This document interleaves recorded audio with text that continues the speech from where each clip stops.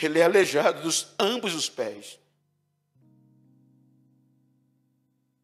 Pelo ditado, ele não podia entrar na cidade. Pelo ditado, ele não podia entrar na cidade. Aí Davi lembra da aliança que fez. E aliança é amor. A maior mensagem de Deus para missões é o amor.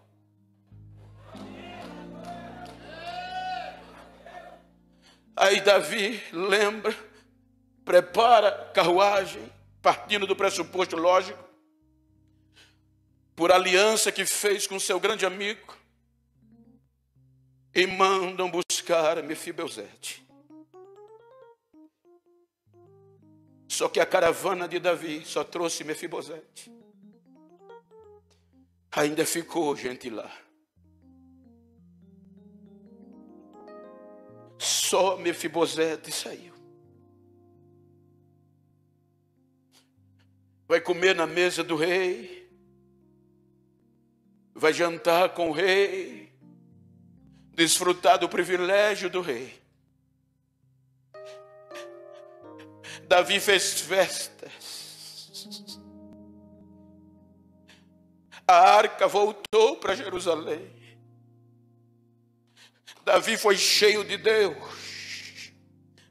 Davi estimulou no tema para a gente pregar, anunciar a bondade, o amor de Deus de dia em dia. Mas só Mefibosete saiu de Lodebar. E essas pessoas dependiam da compaixão e da clemência de Davi ou da sua dinastia. O tempo passa e Davi morre. A sequência de Salomão e dos seus sucessores não se preocupou com os menos favorecidos, descartados, cegos e coxos. O cativeiro vem. E a dinastia de Davi é interrompida na ida para o cativeiro. 70 anos no cativeiro. Mas Lodebar ainda tinha descartados. O povo volta do cativeiro e não volta mais reis. Os sacerdotes é quem lidera o povo. Vem o período intestamentário onde Deus se cala. E agora o descarte, a segregação é maior do que no tempo de Davi. Agora cegos, coxos, prostitutas, cobradores de impostos. A segregação aumentou e muitas pessoas eram marginalizadas. Não havia um relacionamento. Porque a maior proposta de Deus pela lei é o amor. Por isso que quando perguntaram, Jesus disse: maior, os dois maiores mandamentos: amar o Senhor teu Deus sobre todas as coisas e ao teu próximo como a ti. Mas aqui a segregação veio e este amor foi embora. Você é descartado, não serve você, não serve. Aí volta a dinastia de Davi ecoar no cenário. E quem surge? Jesus de Nazaré o rei de Israel, o rei de Judá, descendente.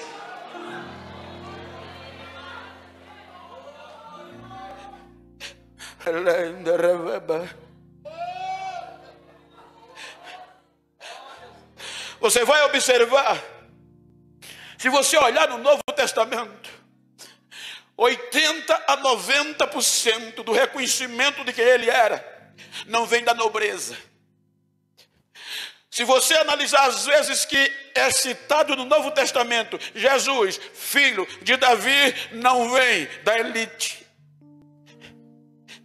vem dos coxos e dos cegos.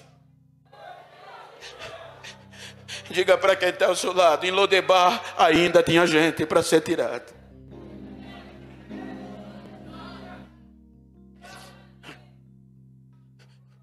Veja que eles, Jesus nunca disse não a quem reconheceu isso. Uma mulher que nem direito tinha, Ciro Finícia, e ela vem gritando: Jesus, filho de Davi, tem compaixão de mim. Bartimeu, Jesus, filho de Davi, tem pena de mim.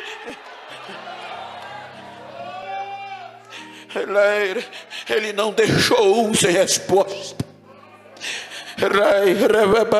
Porque ele veio para buscar o que se havia perdido, ele veio para restaurar o que tinha ficado para trás, ele veio para salvar o que se havia sido deixado de lado.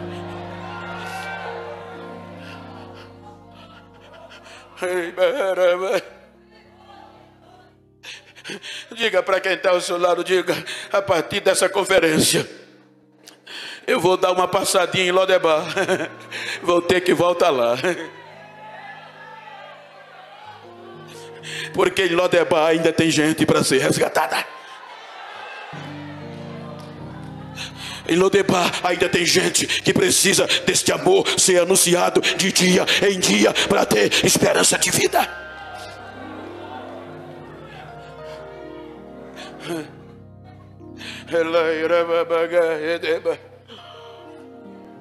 Parar para dar atenção a quem está na mídia é fácil. Veja que no capítulo 15 de Lucas, Jesus vai falar do nosso dever missionário.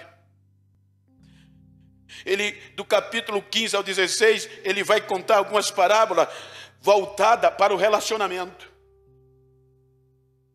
Veja que no capítulo 15 ele vai falar da dracma perdida. E o interessante é que a dracma foi perdida dentro de casa. Não foi na casa do vizinho, não foi na rua, não foi na, foi na dentro de casa. Porque muitas vezes a gente se comporta, é uma conferência, ato de conferir. A gente se comporta como o, o, o, chuve, o aguador, o, o aspersor que agua jardim. Você pode ver, coloca um aspersor para molhar o seu jardim. Ele molha quem está longe, mas quem está perto ele não molha. No pé dele a água não cai, só pinga. Então, se você analisar, aquela dracma fala de sentimentos, de relacionamento. A mulher perdeu a dáclama, se perdeu dentro de casa. Veja que quando ela percebe que perdeu, ela mexe com toda a estrutura da casa para encontrar. Isso fala de relacionamento. Eu não posso falar de missões se eu não estou bem com a minha casa. Eu não posso falar de missões ou fazer missões se eu não estou bem. Um relacionamento aqui, eu não posso ir buscar alguém em Lodebar sem primeiro tratar aqui.